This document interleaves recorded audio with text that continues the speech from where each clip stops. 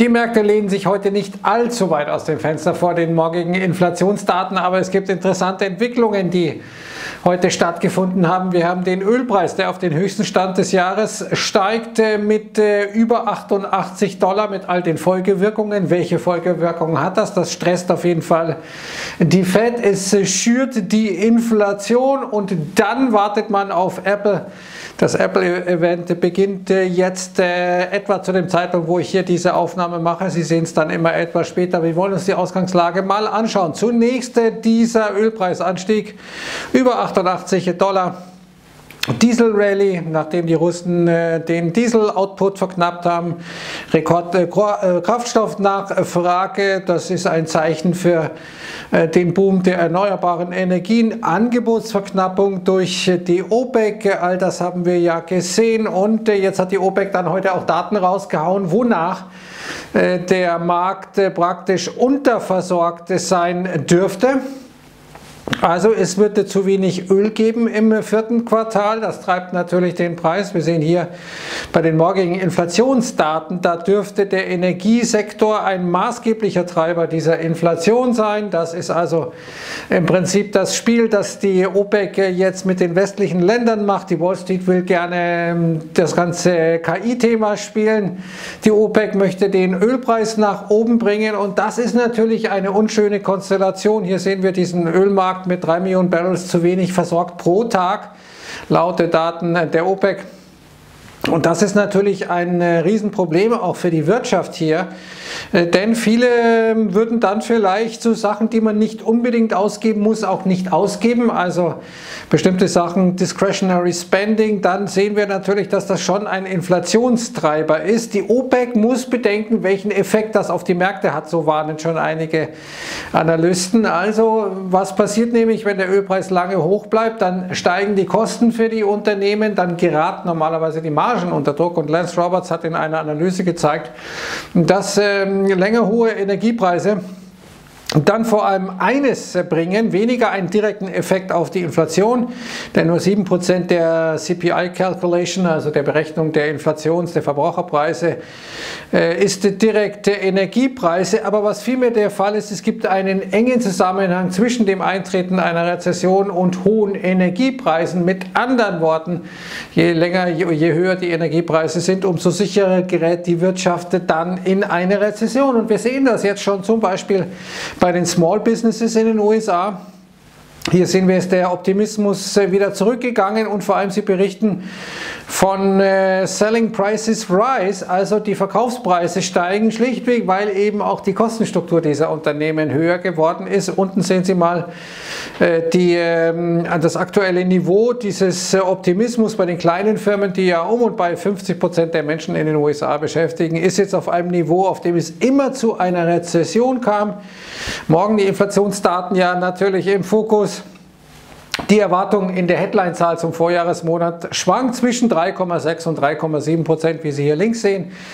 Aber wichtig natürlich auch die Core CPI, also die Kernrate ohne Nahrung und Energie, auf die die FED ja sehr stark achtet. Hier die Erwartung zum Vormonat zwischen 0,14 und 0,24 äh, Prozent. Also das dürfte bei 0,2 Prozent reinkommen, gerundet und dann im Kern, in der Kernrate erwarten alle 4,3 Prozent. Das wird natürlich ein ziemlicher Market Move Mover, obwohl die Fed relativ klargestellt hat, dass sie erstmal jetzt in der nächsten Woche die Zinsen nicht weiter anheben wird. Schauen wir uns mal das Geschehen heute an und wir sehen gerade bei Tech ziemlich viel Rot.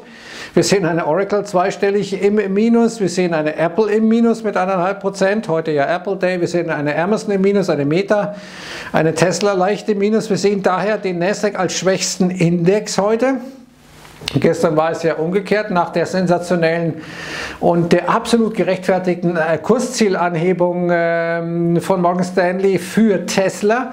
Dazu gleich mehr. Wir sehen, der einzige Index, der im Plus ist, ist der Nebenwerteindex Russell 2000. Dann hier zwei ähm, unterschiedliche Meinungen zu dem ganzen Tech-Sektor. Sven Henrik sagt hier, guckt mal, das könnte hier eine inverse Schulterkopf-Schulter werden mit einem Ziel viel weiter oben.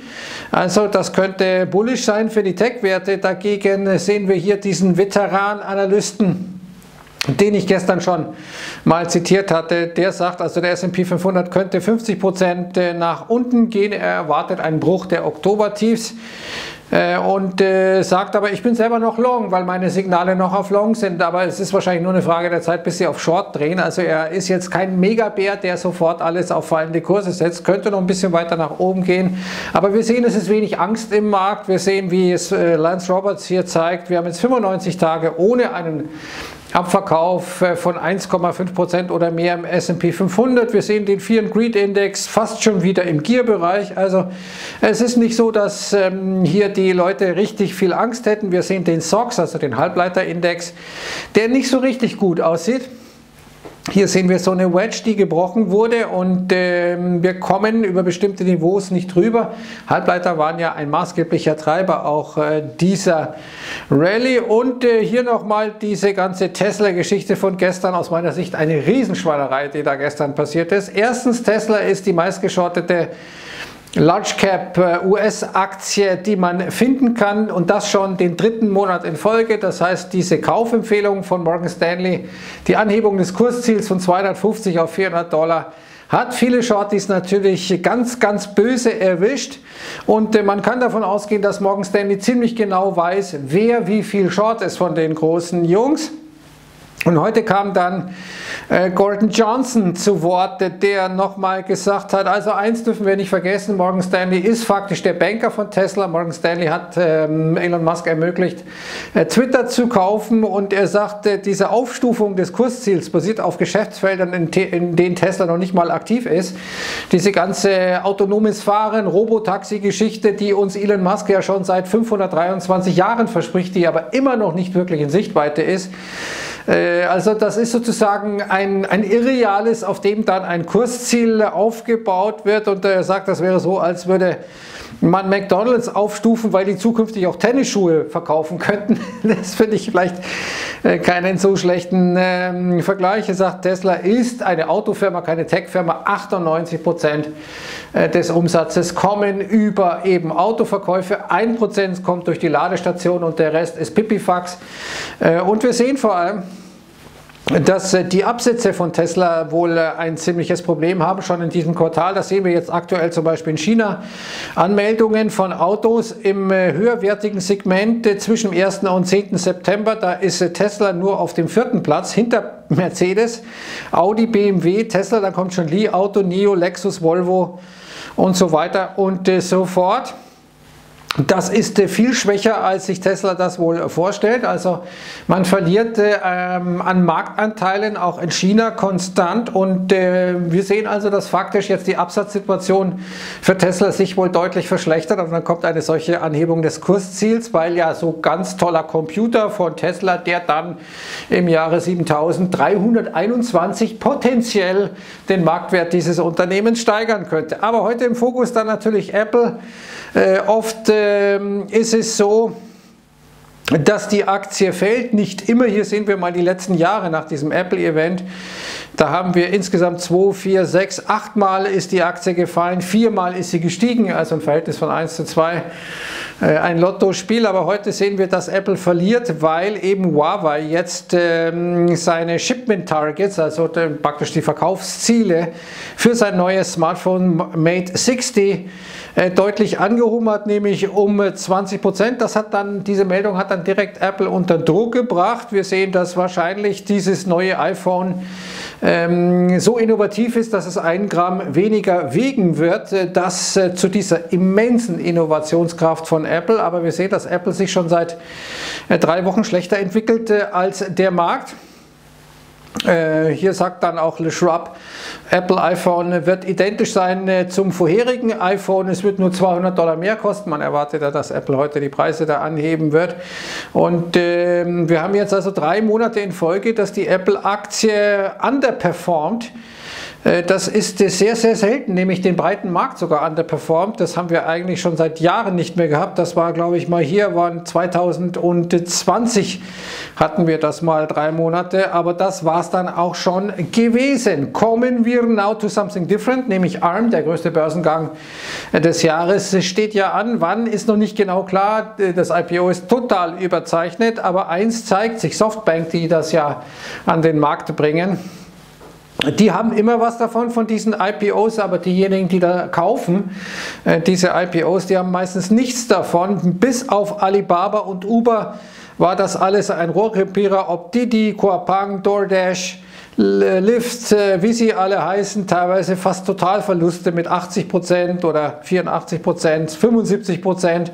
Aber Gewinner war immer Softbank, eine ganz schmierige Firma aus meiner Sicht unter einem ganz schmierigen Chef, äh, der ethisch äh, total abzulehnen ist, bis sogar etwas mehr. Wir sehen hier nochmal dieses Narrativ, das Janet Yellen, Oma Janet, äh, Janet hier gestern ja oder vorgestern dann noch ins Spiel gebracht hat. Soft Landing for the Economy, äh, da ist sie ganz zuversichtlich, aber die neueste Umfrage der FED selber zeigt, dass immer mehr Amerikaner sagen, ich bin schlechter dran als im Vorjahr. Das geht sehr deutlich nach oben, diese Zahl. Und äh, wie ist es um diese Wirtschaft in den USA bestellt, wenn die ganz großen Aktien, Ausnahme heute, deutlich schlechter, äh, deutlich besser performen als die kleinen kleinen Aktien. Wir sehen im Megacap versus Microcap auf einem neuen Allzeithoch der Equal Weight S&P 500, also der Index, in dem alle Aktien gleichgewichtet ist auf dem tiefsten Stand zu dem marktkapitalisiert gewichteten äh, S&P 500 seit November 2020. Wir sehen den Market Breadth, also die Marktbreite, sehr, sehr schwach. Wie gesagt, heute ein Stück weit, ein Stück weit eine Ausnahme, aber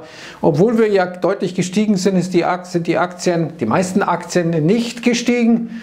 Und äh, nochmal zur Wirtschaft. Jetzt äh, haben wir ja gesehen, dass die US-Arbeitsmarktdaten siebenmal in Folge nach unten revidiert wurden in den Folgeveröffentlichungen. Und hier sagt Daniel DiMartina Booth, also ich habe gelernt, als ich damals als Rookie, als junge Frau bei der FED angefangen habe, äh, dass drei Abwärtsrevisionen in Folge äh, ein Inflection Point sind. Jetzt haben wir so viele Abwärtsrevisionen wie seit 2008 nicht mehr und davor gab es das äh, im Jahr 1985. Also da ist durchaus schon so ein bisschen Stress im System und auf der anderen Seite haben wir Stress im System zwischen den USA und China. Hier sehen wir, BlackRock wird jetzt einen Equity Fund schließen, nachdem der Kongress hier Stress gemacht hat.